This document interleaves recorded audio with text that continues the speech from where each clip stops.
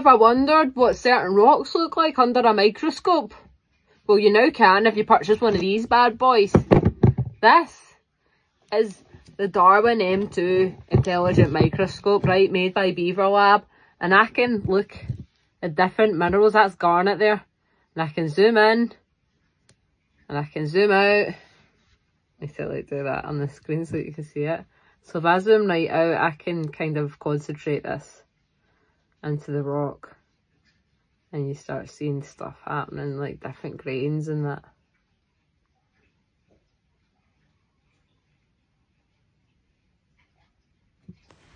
I then had a wee look at some of the basaltic lava from Iceland that I've got, and it was class. Good thing about it is it's portable, so you can take it out the stand, and you can even put it in to, you know, rocks when you're out and about.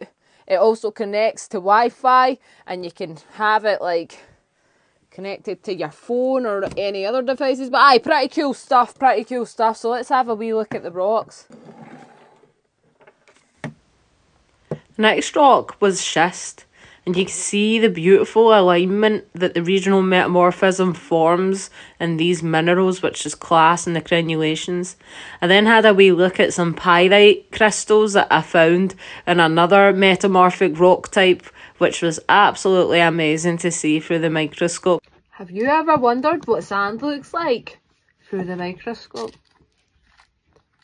I'm going to show you. This is sand from a beach on the Isle of Skye. So it's made up of loads of volcanic minerals.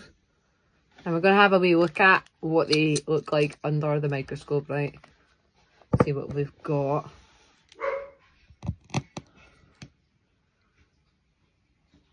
Oh wow, that's glass. I'm going to try turn it.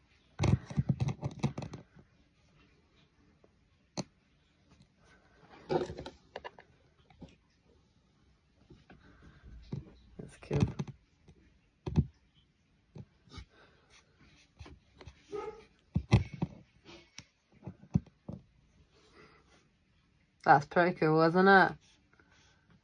All these wee different grains, different minerals.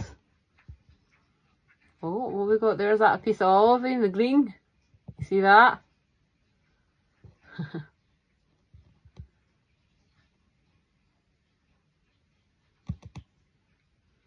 pretty cool.